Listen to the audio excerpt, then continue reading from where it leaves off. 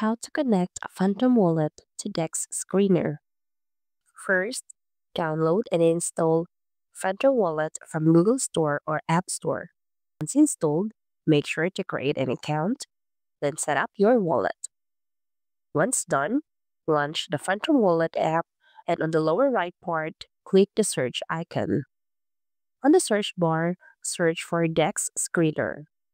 After that, click on Explore at the tab, then tap Portfolio. From here, click on Add Wallet. As you can see, you will need to give the wallet name in its address.